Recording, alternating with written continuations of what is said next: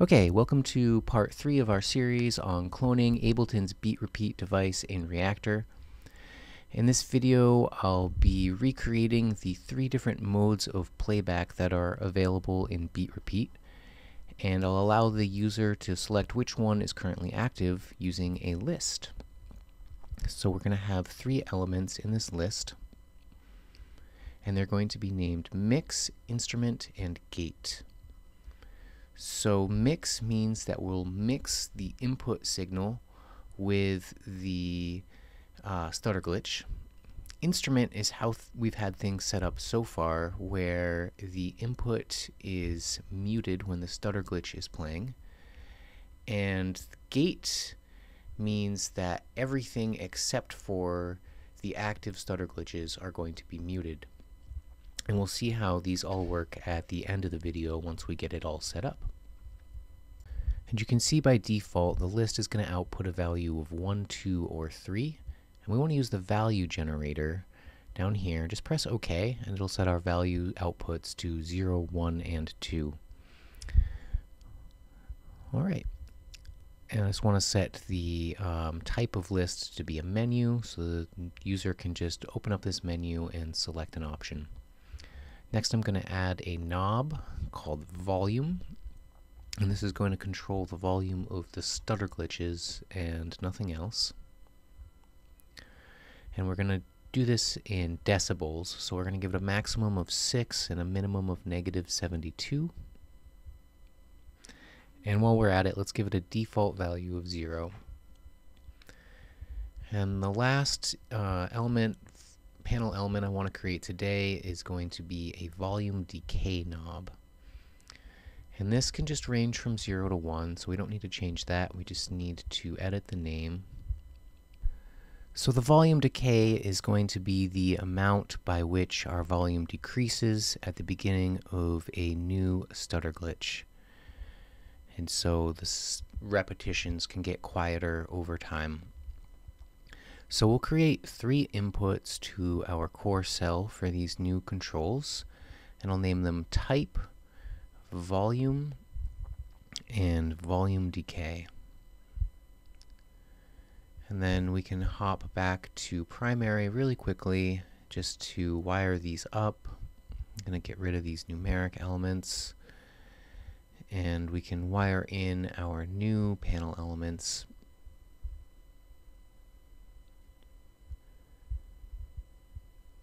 And once back inside of core, um, we can start setting them up. So the type input can just become a quick bus.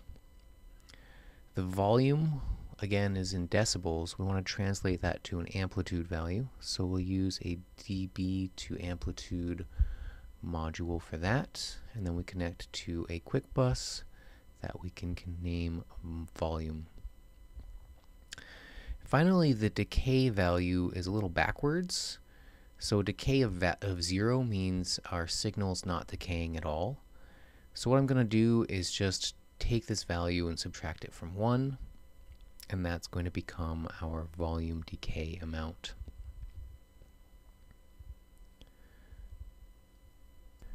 Adding these new features is going to require us to kind of restructure the way that we're playing back our signal. And so I want to create a new macro to assist with that. And this is going to be called the active macro. We'll have one input and one output. And basically what we're going to do is we're going to check to see if the input is receiving a value using the ES control module. So this is going to turn on a router depending on whether or not we have a, an actual signal coming in at the input. So if we do have a signal, we just want to pass it directly to the output. I'm not going to do anything to it. If we don't have a signal, um, we're going to set a router.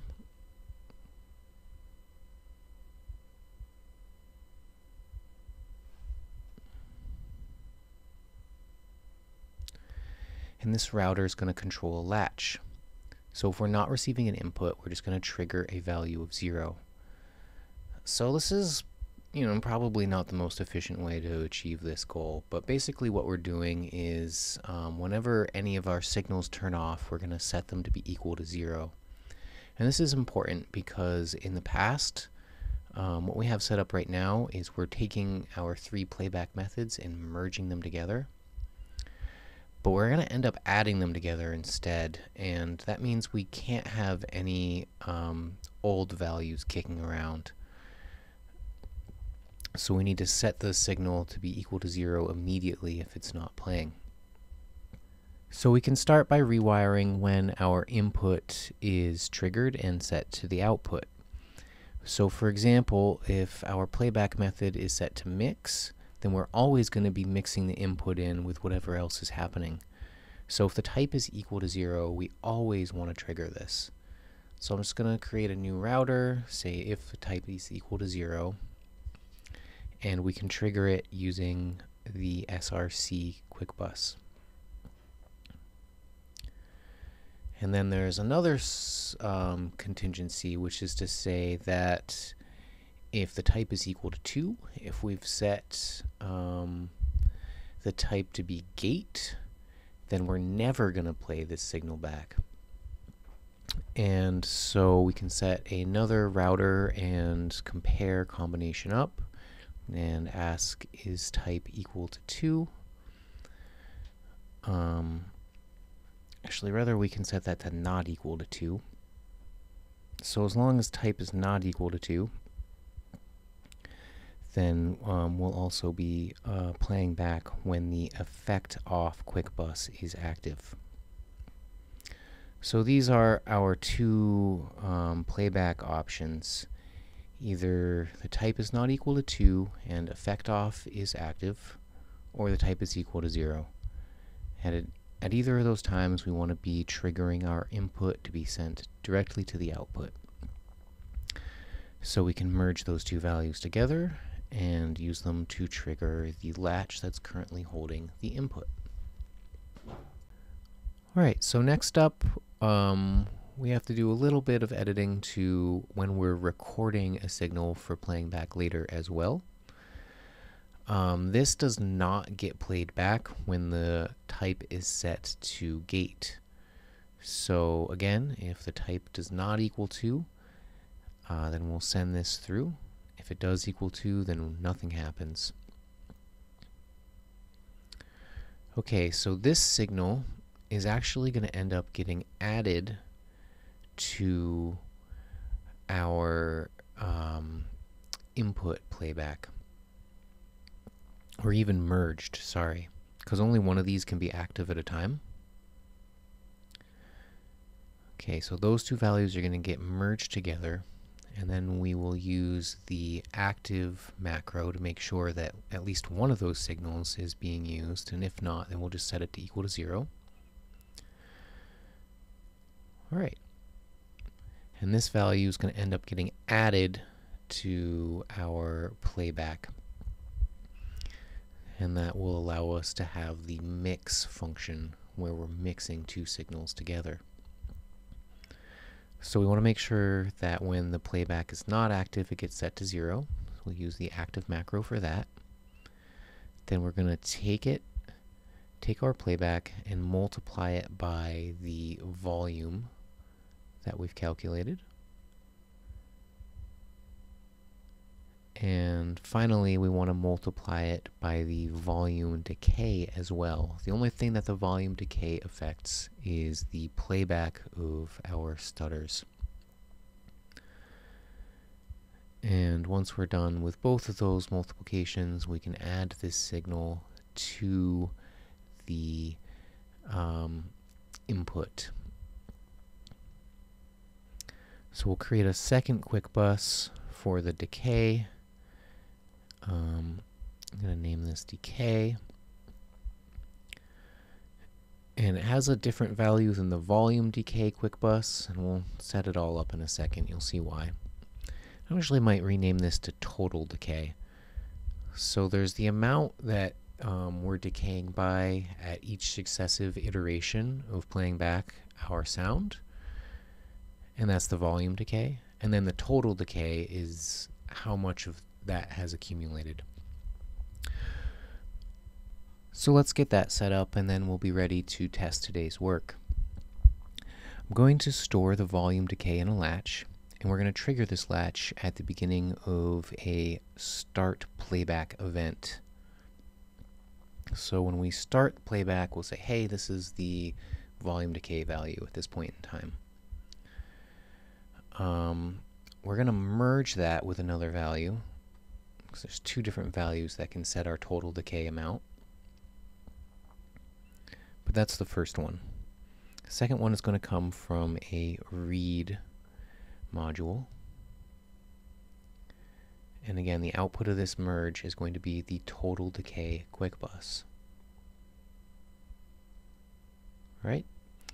Now we're going to multiply this value by the volume decay amount and store it in a re, uh, write module. Okay, so on a new quick bus, or sorry, on a new start playback event, we'll set the total decay value to whatever our decay knob is set to. And then at the beginning of each new repetition, we want to trigger the read module, which is going to um, multiply this value um, by itself. And it's going to get successively smaller as long as the volume decay is set to anything but zero. So we just need to trigger this at the beginning of a new repetition, which is the upper output of this router here, whenever we've exceeded our maximum index value.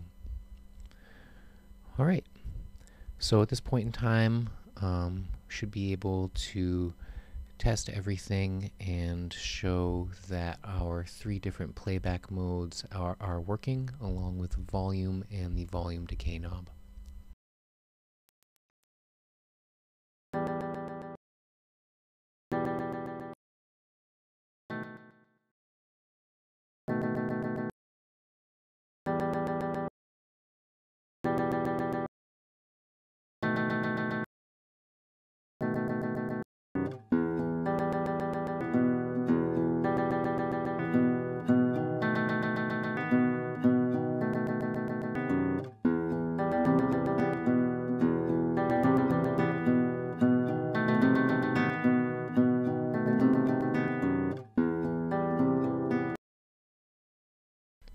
Alright, in the next video we'll continue trying to add all the various options and panel elements that uh, Beat Repeat has available. Thanks for watching. Once again, this is Salamander Anagram.